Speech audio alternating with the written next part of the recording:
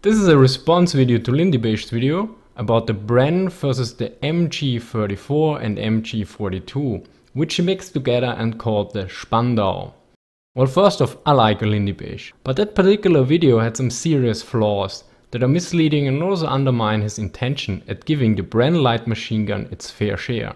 Because due to the many errors about the German machine guns present in the video, I think he actually hands more ammo to those that think German World War II equipment in general was ace, to use his terminology. I agree with him that there's a tendency by people that think that everything German in World War II was ace, and that the tendency should be counteracted upon. But I think it can only be countered mostly with correct information and not with noble intentions combined with unintentional errors. So let's get started. The main problem with this video is that Lindy Beige doesn't really make a clear distinction between the MG34 and the MG42. There was a clear difference between the two, not only in production, as he clearly noted, but also in performance. The MG34 was way more accurate than the MG42, which had a higher rate of fire. This lack of distinction undermines most of the statements Lindy Beige is making throughout the video. If the video had the title Bren vs the MG42 it would have less errors, but still even in that case there would be two major flaws, which are based on his tendency to use a wrong comparison to make a point, but that comparison actually undermines the credibility of his previous statement, so let's take a look at them.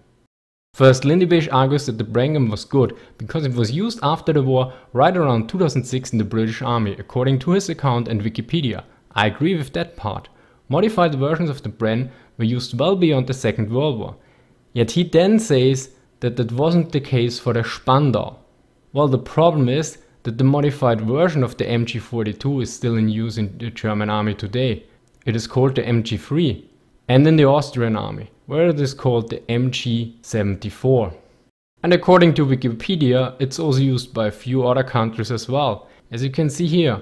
Furthermore, Wikipedia clearly states for the Bren gun under in service 1938 to 2006 and for the MG42 it states in service 1942 to present as MG3.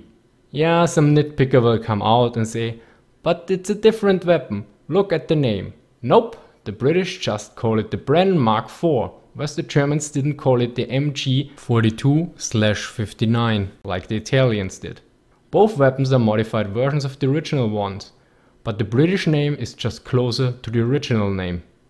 Although Lindy Beige notes, and not everyone copied the MG34 after the war, which is correct, but he then wrongfully corrects himself to use the term Spandau. Well here's the main problem again. He mixes the MG34 and the MG42 all the time and he also insists on calling them both Spandau. I know the Spandau, it's a German machine gun from the First World War. And until I saw his video, I never read, heard or used the term Spandau for the MG34 and 42. Yet according to Wikipedia, some British troops used this term for the German machine guns in World War II. But Lindy Beige claims in his video because that's what people at the time called it. Well, if the term people is only referring to British soldiers, then he might be correct. Maybe others did it too, but the main problem is that the MG34 and MG42 were two distinct weapons.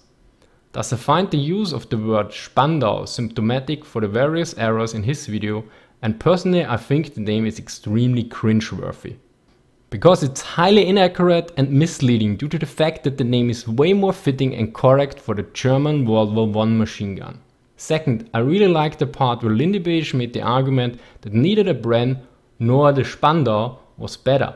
But he then really shot himself in the foot with, let's not forget that the British consistently won from 1944 the Normandy landings onwards. Because that didn't have anything to do with the Bren gun or any other individual weapon at that stage at the war. In 1944 the German army had bled itself dry on the Eastern Front for several years and was bombed constantly by the US and British.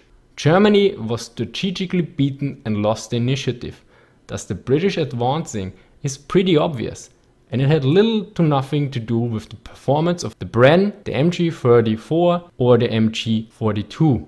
This really made me cringe because Lindy Beige started a reasonable point and then made a statement about the tactical level that at that time was completely determined by the overall strategic situation. Why Lindy Beige? Why? What happened?